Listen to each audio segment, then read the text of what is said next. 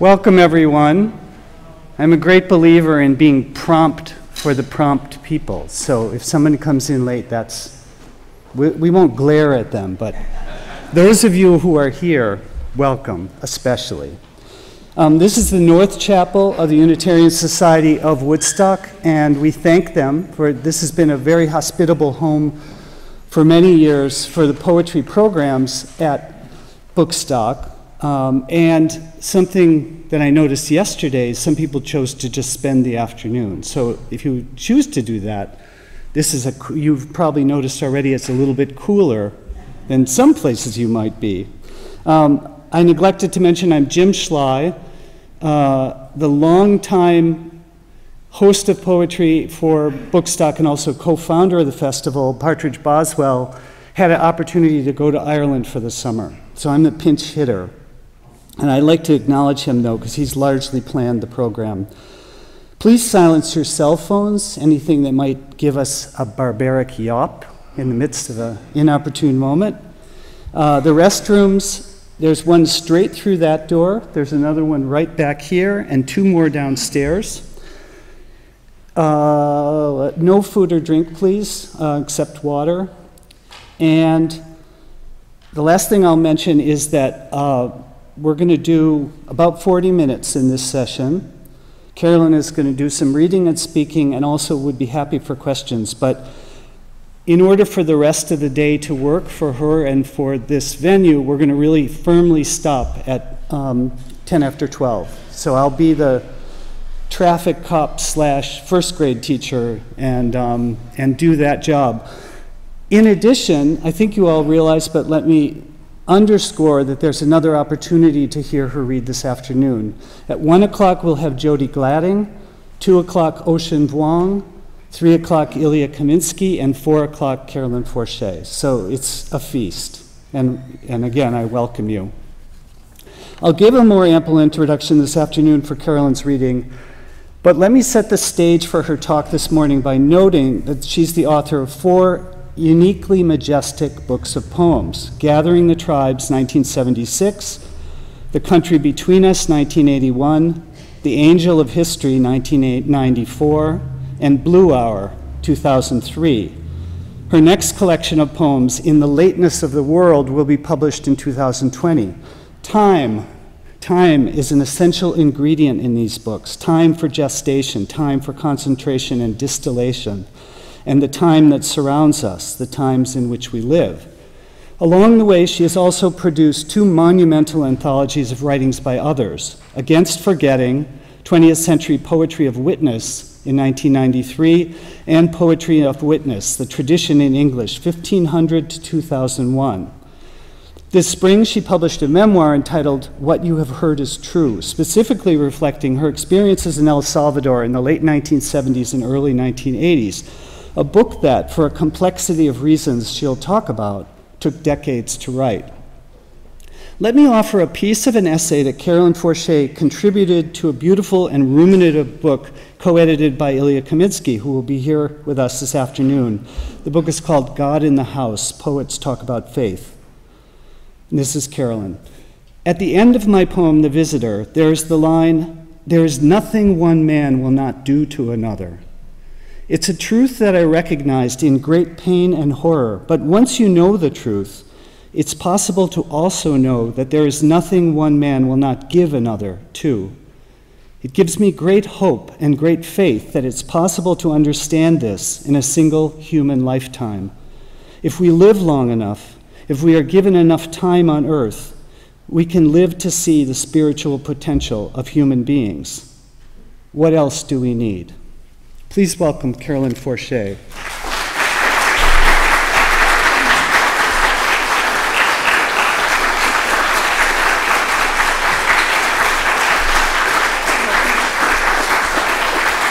you. Thank you so much. Um, so, this session is I'm going to devote to the memoir and later this afternoon to the poetry. I, I'm moving and walking funny because I fell down a staircase two months ago. So I'm fine. I just, I, I'm not usually like this. And I'm very happy to be here. I've spent a lot of time in, in this town, and Um, Chuck Fenton in the audience used to have a gallery here in Woodstock, and we, when uh, my husband and I were, worked on a book of photographs about El Salvador years and years ago, Chuck gave us a show at that gallery, and we did a big event there. And he's here today. It was really delightful to see him. Um, this book took uh, 23 years to begin writing and 15 years to write after that. It's been called a very timely book, um, which is an accident of fate, of history, and of my own uh, various incapacities and, and difficulties moving from poetry to long form prose, writing a memoir. Uh, it's a memoir, it's called a memoir, but it's not about me. There's a main character in it who's not me, and um, I don't triumph over adversity in this book, and I don't have, um, from the triumph over adversity, uh, wisdom to share.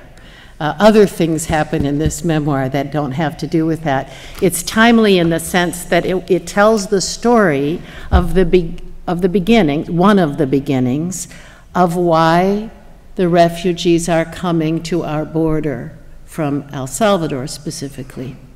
So I've tried to use my moment in um, the public eye with the publication of this book, you know, to make sure people are atten paying attention to that and why it happened and why it continues to happen.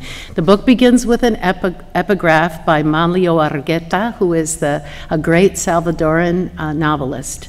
And this is for you because we, we need to talk about hope a lot these days, it seems, because we easily lose it.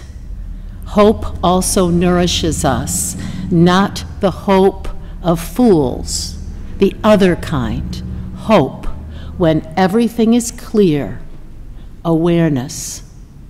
So it, it, begins the book. I was 27 years old. I was teaching at San Diego State University where, by the way, Ilya Kaminsky also used to teach.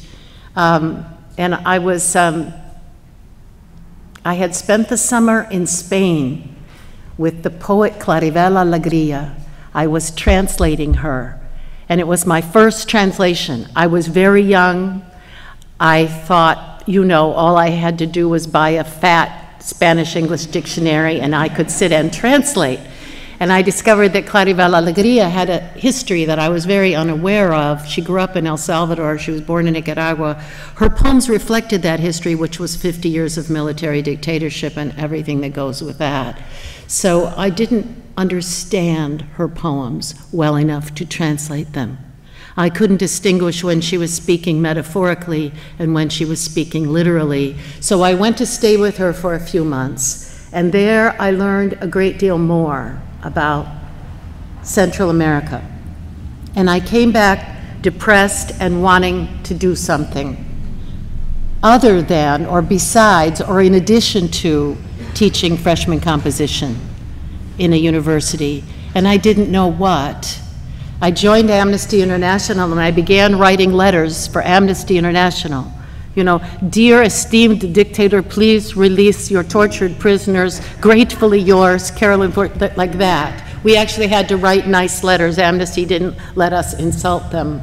So I was doing that, and I had all these papers on my table, and I was grading papers, and I was writing these letters, and I had these urgent action reports, and I was home alone, and my roommate was away. We don't remember why. And I heard a vehicle in my driveway. And I wasn't expecting anyone. I'm the eldest of seven children. We were taught not to open the door to strangers. I was going to pretend not to be at home, but I was really curious and I looked out the window and I could see that this vehicle was a dust covered sort of early SUV and it had El Salvador license plates. I had heard nothing but horror stories about El Salvador. And here was an El Salvador vehicle in my driveway. Then a man got out with a big bag stuffed with papers over his arm, and then two little girls jumped out, and I relaxed because I thought, well, he can't be an axe murderer. He's traveling with two little girls. That he came to the front porch. They rang the doorbell. They rang it again. I thought about hiding, and then I, my curiosity got me, and I opened the door with the chain on. And the man said, "You are Carolyn Forche," and I am Leonel Gomez Vides, and these are my daughters, and we have driven from El Salvador to visit you. I have to talk to you. So I showed him, I asked him to wait. I went and got a photograph I had taken in Spain and asked him to identify the people in the photograph because if he was, I'd heard this name in Spain. Leonel Gomez Vides was Claribel Alegria's cousin. So if so, he would be able to identify her in a picture. And he did. And he laughed at me. He said, That was very good that you checked me out like that. I like that. And I opened the door and he came in and started bossing me around. Get this stuff off the table. We have work to do. Can you make some coffee? You know, things like that. And I was a, a young feminist and I didn't want to be told to get things off the table or make coffee. But he spent three days with me and he talked and talked and talked and talked beginning with the conquest of the Americas way back in history, and the cultivation of indigo and cotton, and then finally the cultivation of coffee. And by the end, he's drawing American gunships flying over the mountains of El Salvador and Little American Flag Embassy. And three to five years, we're going to be at war. And what your country decides to do is going to determine the fate of hundreds of thousands of people.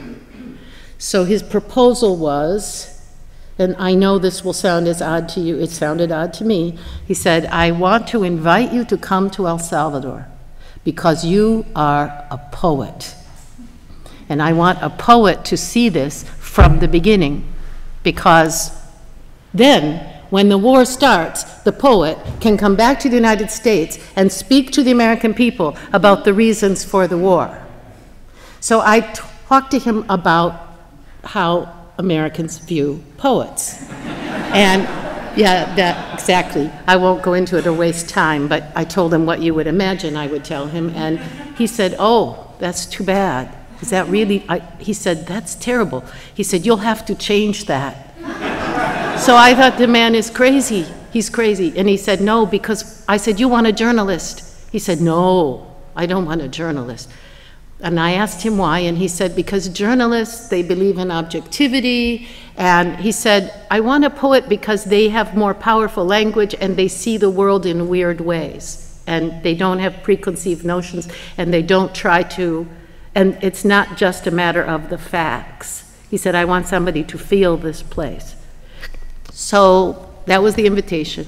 He said, Don't worry, you can stay with women friends of mine. I will show you the whole country. I don't ask you anything of you except someday maybe you will write about it or talk about it. And then he drove away with the little Andean flute music floating out of the vehicle. And he says, I'll see you in January. And I said, I yelled in the middle of the street, I didn't say I was coming.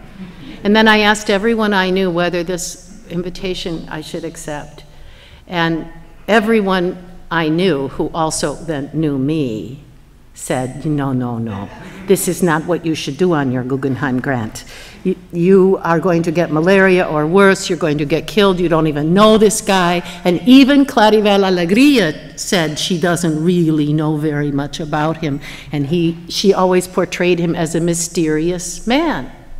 She didn't really want to talk about him, but when they did talk about him, they said, well, he, he has this little coffee farm, but he gave some land away to the campesinos. He sleeps on the ground with his, his, motorcycle in his arm, arms in the night, and he races motorcycles. He's a champion marksman, and he might be a guerrilla commander or might work with the guerrillas, but he also might be with the CIA. Nobody knows for sure who he is. And he's and he's and the husband said to me, her husband said, and he is very, it's dangerous game what he is involved with. So I'm 27. This was intriguing to me. I, you know, this was not a, this was not a cautionary uh, description. This was more, hmm, you know. So I asked and asked and asked, and everyone said no. And finally, a, a man I had gone to college with came through. We had coffee, and he said, "I think you want to go." You're going to ask people until someone agrees that this is a good idea. So he said, Let me be that person. Go. And I said, Really? And I made my reservation. So I get to um, Ilopango Airport, which is now just again a military airport. It was an old, decrepit airport with, it was dark. I landed, they went through all my things, there were soldiers all over the airport. I was the only foreigner on the plane, everyone else had disappeared, and no one was there. Leonel was not there to meet me. So that was the first, and maybe the first of hundreds of times when I thought maybe this wasn't a good idea, maybe I should go home. Then a Peace Corps volunteer came through the parking lot and said, You must be Carolyn Forche. I'm John Taylor, Peace Corps. Leonel sent me to pick you up. I was, oh, okay. So I went with the American, and while we were driving toward Benihana of Tokyo, which is where we, um, he's, I said, he said, How long have you known Leonel? And so I, I said, um, Three days? And he said, So, you don't know him very well either, then. And I thought, Either? He said, He's a pretty strange guy. And then he said, and I've had some really interesting experiences with him, sometimes too interesting. So that was the beginning. Now, I'm going to begin with a kind of harrowing passage, which is the opening passage. After this passage, I'm going to read to you, um, then the doorbell rings you know, and I start the story from the beginning. He's funny, he's brilliant, he's maddening. I was young, I thought he was bulletproof. I thought nothing was going to happen to us.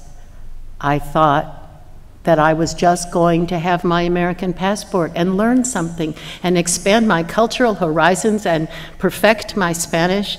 And I didn't understand that not only was war coming, but already it was the time of the death squads. So it was a very brutal time in El Salvador. It was almost more brutal than after the thing got organized and the war started. So it is near the end now. We are walking in the rippling heat of a sorghum field, cicadas whirring to an empty sky. A man uncorks a water gourd. Another man leans against a spade. There is a woman here, too, wearing an aproned skirt over her trousers. Hard light and the dry rattle of sorghum seed heads. I'm holding a spray of seeds. One of the men takes Leonel aside and tells him something, a secret, like everything else. We get into the Jeep and without explanation drive to another place not far from this field. The campesinos, rural peasants, would have walked, measuring distance not in kilometers, but in hours or days. What are we looking for? I ask, and as always, he doesn't answer, swearing under his breath through the haze of smoke that hangs in the air where the corn had been growing. We stop near a cluster of champas shacks made of mud and wattle. One of them has collapsed and smoke rises from it. Wait here, he tells me, but I don't wait. I had stopped waiting for him months before this, but he can't seem to break this habit of telling me to wait. Smoke is rolling like a shore cloud along the fields just above the blackened stubble. We walk, and when he stops, I stop. And when he, when he continues, I continue. He palms the air to say, slow down or be quiet. I slow down and am quiet. When we reach the champas, no one is in them. No one is home. A large plastic bowl used for making the slurry that becomes tortilla dough is overturned on the ground. There is a child's t shirt in the tortilla slurry. Behind one of the champas, it appears that several hens have been held by their feet and whacked against a stone. They are lying on the ground, one of them still opening and closing its beak. A hundred or so, or so meters more, and we hear the whine of flies, the hissing and belching of turkey vultures, the flapping of wings like applause in the maize stalks, as the fattened birds try to lift themselves.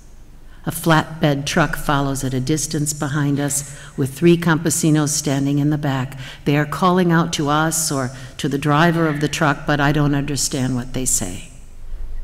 I don't know what I had expected to see, but not the swollen torso of a man with one arm attached to him, a black pool of tar over his crotch. I didn't expect that his head would be some would be by itself some distance away without eyes or lips.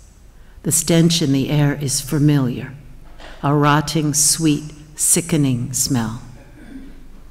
human death.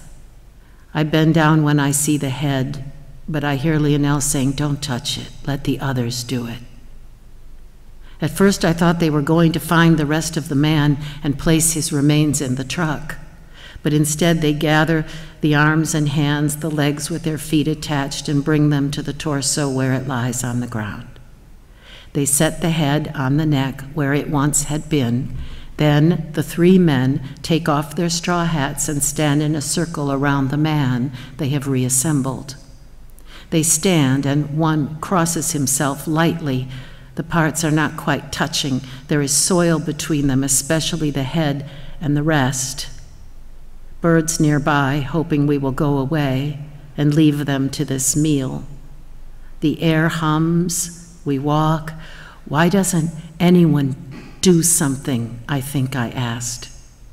On this day, I will learn that the human head weighs about two and a half kilos.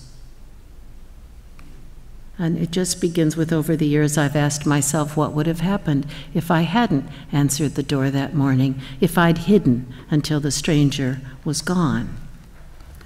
The book has a narrative that just goes like a novel, except there are passages that I took out of my um, notebooks of the time. The language is different in them. It's fast and rushed, and I decided to have these passages in the book because they replicate the state of mind, um, which is different than the calm narration, a different sort of state of mind. Monsignor Romero, Saint Romero now, um, is, in, is a character in the book. I knew him. He, he's the one who got me out of El Salvador on March 16, 1980. There are lots of wonderful characters in the book. Leonel has a good sense of humor. I hope I captured that, and I hope I captured the kind of um, the kind of rapport we had.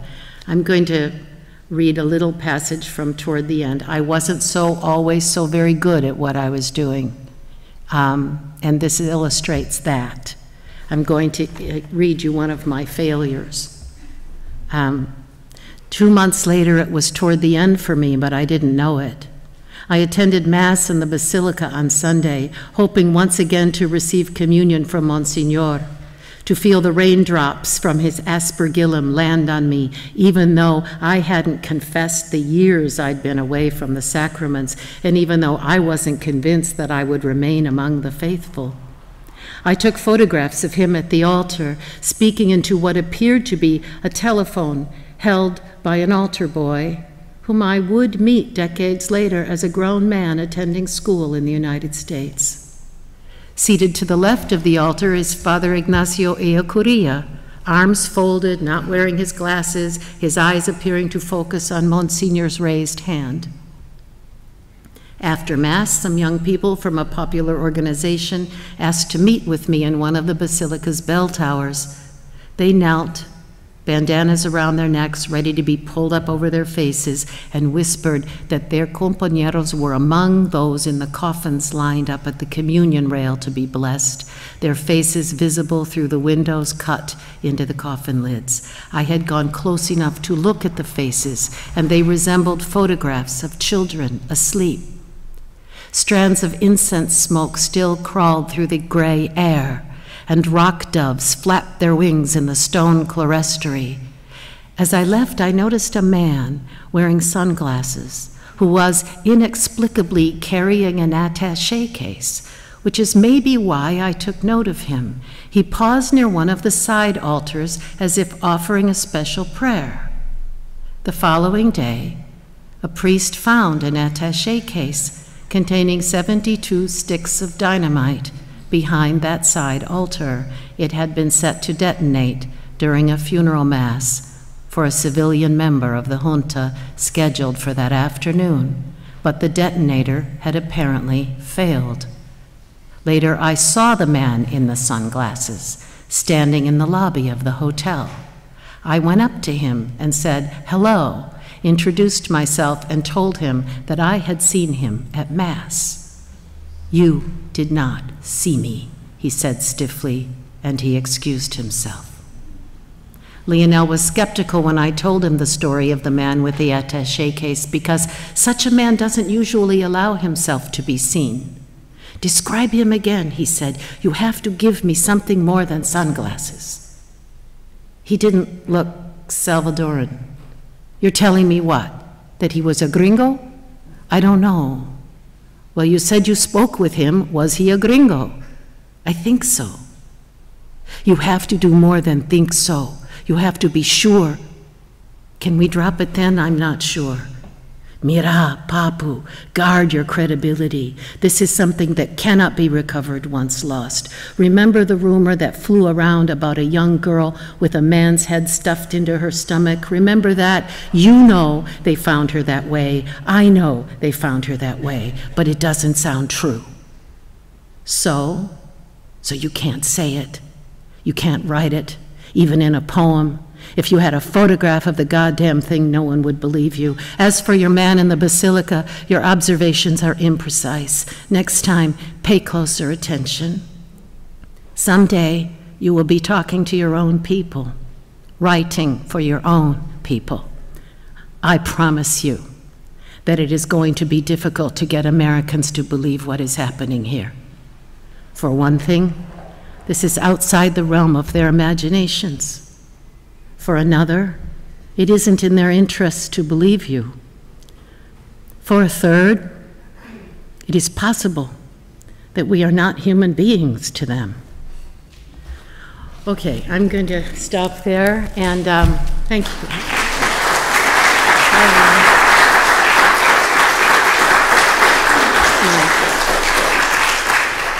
My hands shake not because I'm nervous. It shakes because I, of my discs. So I would love your questions, and I can talk about the process of the writing of a book that takes 15 years, and I can talk about Salvador, or I, could, I can talk about the border right now. Anything you want to ask about being a poet and then trying to write prose, or you can even ask if I write with a pencil or not, since I labeled some of my passages written in pencil. Those are the ones that come from the early notebooks. Yes, sir. Thank you so much uh, for sharing this. Um, I'm wondering why you chose the memoir form. Um, because in the beginning, I was at a conference when I was pretty young after El Salvador. And after El Salvador, I didn't know it, but I was traumatized. I was a little bit not okay more than probably a little bit. And I was at this conference in Lake Saranac, New York, and Ed E.L. Doctorow was the big fiction writer there.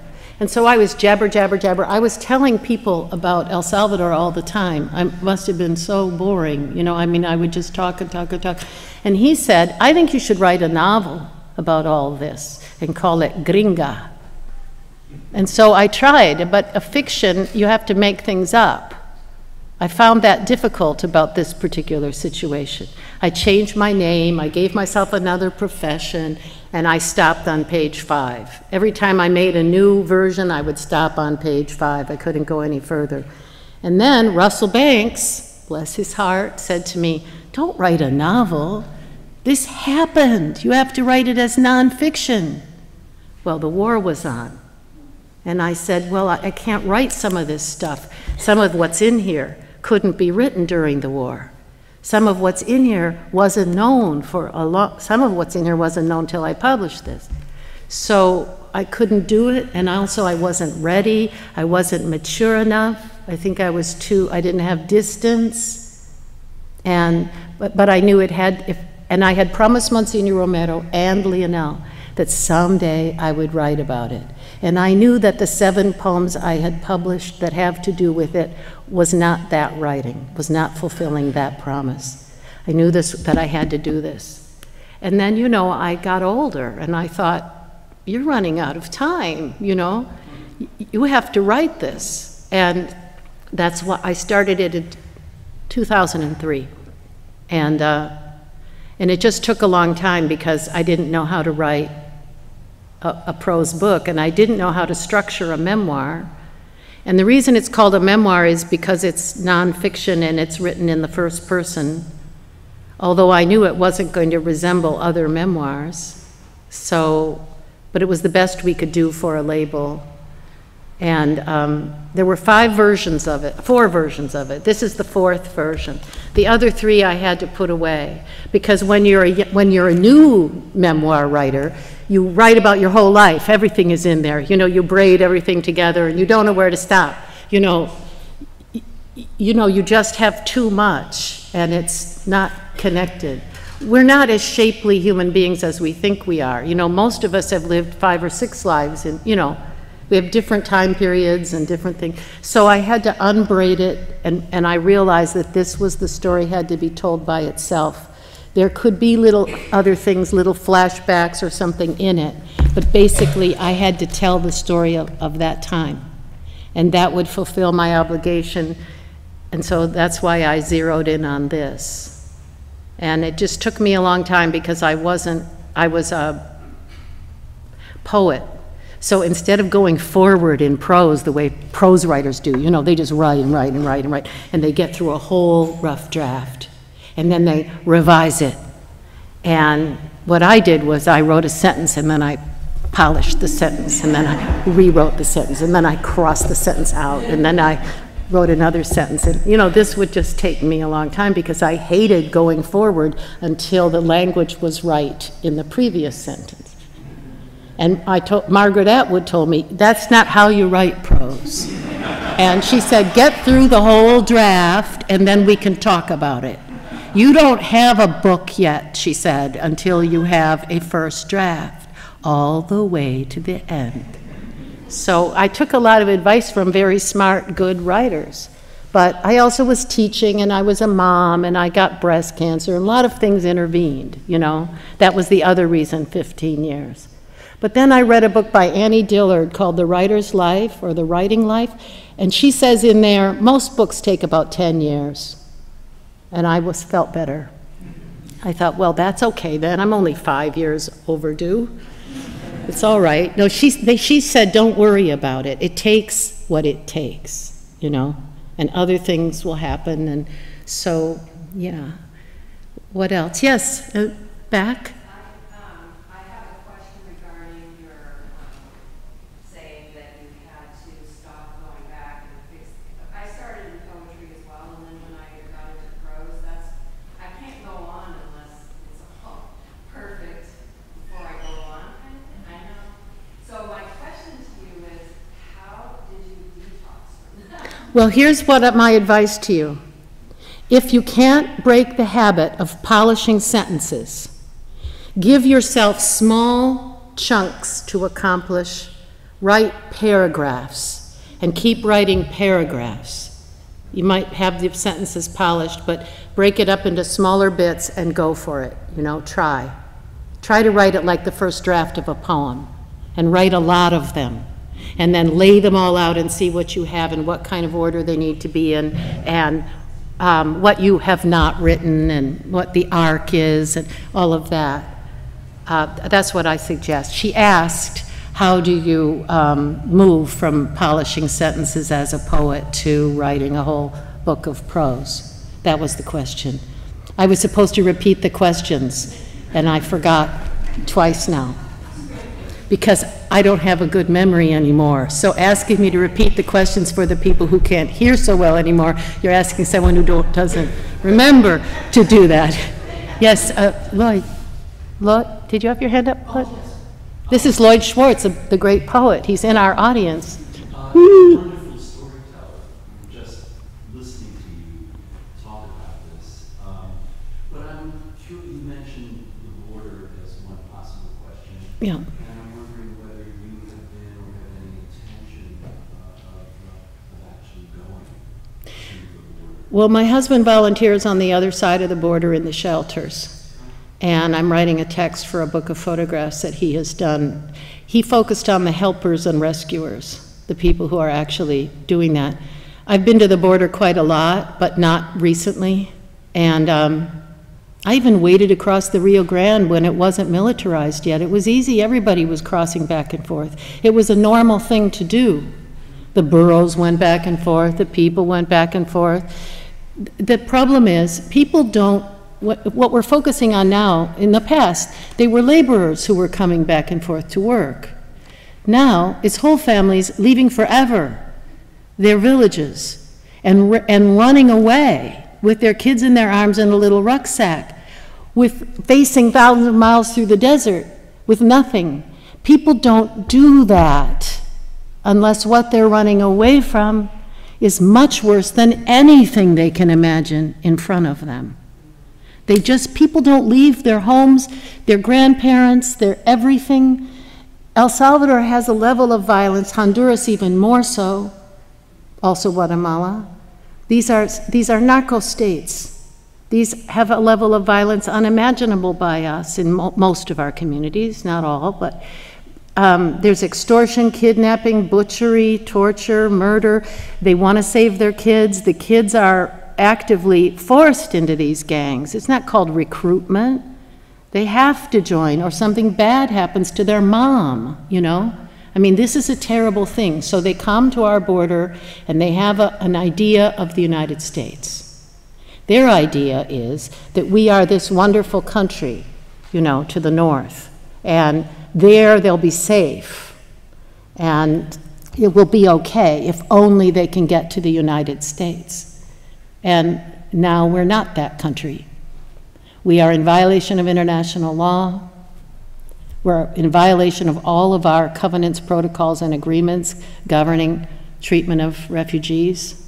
And we are another place now. And I think we have to face that we've become something else so that we can start working on not going back to what we were, there was a lot wrong with what we were, but going forward and becoming a humane nation um, and, and solving our, our enormous and historically unprecedented problems. Yeah. Um, thank you. Have you stayed in touch with the man who rang your doorbell? Yeah, well, we were, we worked together. He went into exile um, during the war, came to the United States, knocked on the doors of the Congress until he finally got some Democratic congressmen to listen. He put together the peace negotiation that ended the war. I went back to Salvador for the signing of the peace. This is a funny story. I, I went back and I was sitting at the table with the guerrilla commanders, and they were all in suits and ties. Everybody was beautiful breakfast, nice breakfast. Remember Dan Quayle? He was the representative of the United States at the signing of the peace accords, and the guerrillas were saying, "Go up and meet him. He's your vice president. We'll take your picture with him. He's your, you know, and you can meet him." And I said, "I don't want to meet him. I don't like Dan Quayle. I don't want to go up there." And they said, "But it's historic. We'll take your picture." So I went, and Dan Quayle said, "Oh, are you with the embassy?" And I said, "No, I'm with the guerrillas over here." And he said, "I'm from Indiana." And I said, "I know." And then they took the picture, and I sat back down. He wasn't very bright, you know.